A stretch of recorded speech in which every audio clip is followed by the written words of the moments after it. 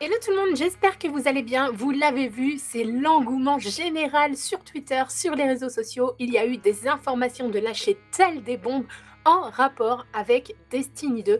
Des images qui ont fuité depuis le compte officiel de Bungie. Enfin, fuité, c'est un grand terme puisque vous l'aurez compris, ce sont des actions de com habituelles façon Bungie, des révélations sous forme de fuite, ce que j'appelle de la com furtive. D'abord des posters, puis des tickets de caisse. Aujourd'hui, euh, des images en rapport avec Destiny 2 sur le compte officiel de Bungie aucune réaction des principaux intéressés et paf, les images officielles qui sortent. Bref, encore et toujours du grand art bien annoncé. Rappelez-vous d'ailleurs ces images qui avaient fuité en août dernier. Donc tout ça pour vous dire que beaucoup de questions tournent autour de ces révélations. Évidemment, c'est l'engouement général sur Twitter, tout le monde en débat dans les commentaires. Et donc nous en sommes venus à faire quelques hypothèses quant au déroulement de l'histoire de Destiny 2. Donc beaucoup s'accordent à dire que ça pourrait tout à fait se dérouler au moment de la chute car le voyageur était déjà présent sur Terre et qu'il s'agit d'une vue prise depuis la cité. Donc même si la cité a été créée après la chute, ce que peu d'entre nous savent, c'est qu'elle a été créée sur une tour qui existait déjà bien avant la chute et qui appartenait à d'autres populations, les Palamons, ceux que les gardiens ont colonisés. Donc cette vue est tout à fait plausible et cette séquence peut tout à fait avoir été réalisée au moment de la chute, raison pour laquelle il est fort possible Destiny 2 se déroule à cette époque de notre histoire. Alors si la vue d'un cosmodrome en chaos depuis la cité est tout à fait possible à l'époque de la chute, cela pourrait donc faire écho à la théorie d'un voyageur méchant, théorie qui par ailleurs avait été révélée depuis longtemps par Rasputin.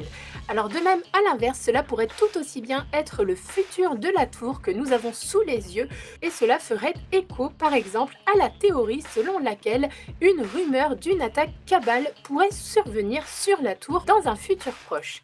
Il y avait également une rumeur de l'existence d'une autre grosse puissance des ténèbres après Oryx, comme le précisait par exemple Eris dans la dernière cinématique de Taken King qui faisait référence à une autre menace qui planait sur nous. Dans tous les cas, qu'adviendrait-il des gardiens si le voyageur se retrouvait menacé, voire exterminé? Ça, c'est la grande question que l'on est en droit de se poser. De même, s'il s'agit d'une suite et que la tour est attaquée, la vie de Kaïd 6 pourrait-elle être menacée Ce qui expliquerait par exemple l'existence d'une figurine pour un Destiny 2 qui serait spécialement attribuée à 6 une théorie comme une autre qui pourrait tout aussi bien être juste une mise en avant de Kaïd comme une sorte de sauveur puisqu'on sait par exemple, Iris pourrait très bien faire son coming out et devenir la méchante que tout le monde redoute suite à sa contamination par les ténèbres et donc Kaïd nous mettait en garde depuis le début comme un mal venu de l'intérieur. Donc à contrario, une hypothèse, on apercevrait comme un deuxième voyageur sur cette image. Est-ce qu'il s'agit d'une hallucination? Je vous demande ce que vous en pensez. En tout cas, une théorie qui n'avait encore jamais vu le jour jusqu'ici, puisqu'il n'existait dès lors qu'un seul voyageur sur Destiny 1. La scène pourrait donc fort bien se situer dans le futur s'il s'agit bien d'un deuxième voyageur arrière-plan. Ce qui suivrait d'ailleurs très bien Destiny 1, une image où le voyageur veille, où tout semble serein, et là Destiny 2, c'est l'hécatombe. Pourquoi pas l'arrivée également d'une toute autre espèce menaçante, ce qui nous amènerait pour le coup à découvrir d'autres planètes, d'autres ennemis, ce qui, en termes de contenu et de diversité pour un deuxième opus, se tient totalement. D'autant plus pour finir qu'il nous reste des grosses zones d'ombre, n'oublions pas qu'Osiris depuis le début prétend que le guide est un traître, un imposteur. Aurons-nous enfin plus d'infos sur ce guide? Saurons-nous enfin s'il est véritablement du bon ou du mauvais côté? Si Destiny 2 se déroule dans un futur proche, on peut très bien imaginer que oui, de même qu'il nous reste encore de très gros mystères à découvrir en rapport avec cette fameuse inconnue de Destiny 1.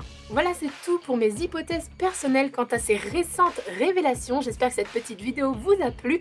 Plus que jamais, je vous invite à réagir dans les commentaires, à me faire part de votre point de vue, de votre propre avis, de votre propre expérience sur le jeu. N'hésitez pas à faire écho, pourquoi pas, aux cinématiques, aux histoires du jeu, aux cartes de grimoire. C'est le moment ou jamais de me faire part de votre expérience et de votre avis. Je vous retrouve très rapidement pour d'autres infos, en tout cas je l'espère sur Destiny. Portez-vous bien. Ciao tout le monde